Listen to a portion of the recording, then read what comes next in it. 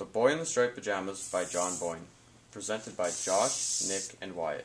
This is a story about a nine year old boy named Bruno. He lives with his family in Berlin, with his mother Elsa, his father Ralf, and his sister Gretel, accompanied by Lars the butler and Maria the maid. One day, Bruno was walking home from school and was surprised to see Maria the maid in his room packing his things.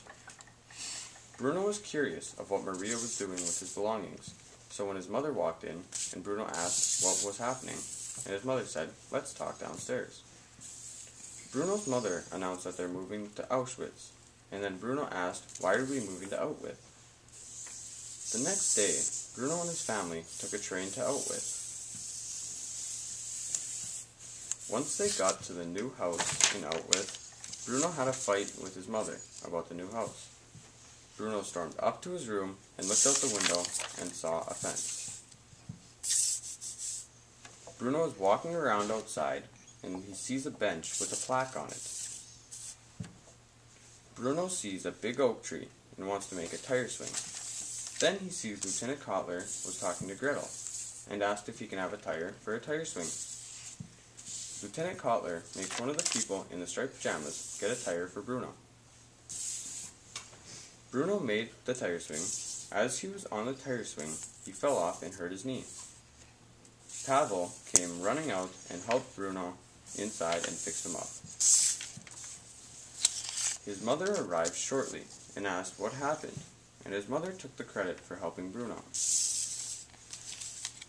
Bruno observes all the people on the other side of the fence that are wearing striped pajamas and striped caps. Bruno reads the plaque on the bench that says, Presented on the occasion of Outwith Camp, June 1944. Bruno remembers he was told no exploring by the fence. Bruno starts to walk along the fence and sees a speck that turns into a dot, that turns into a blob, that turns into a figure, that turns into a boy.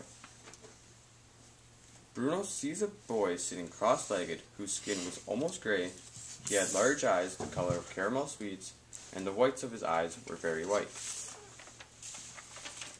Shmuel shows Bruno the armband that everyone on the other side of the fence has to wear. Then Bruno shows Shmuel the symbol that the soldiers wear.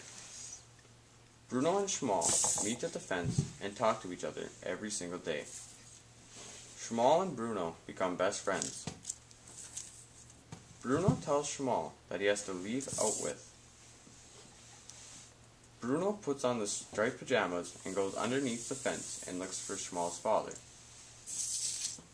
If you want to find out more about the shocking ending, you will have to read the book. The end. Ah, what's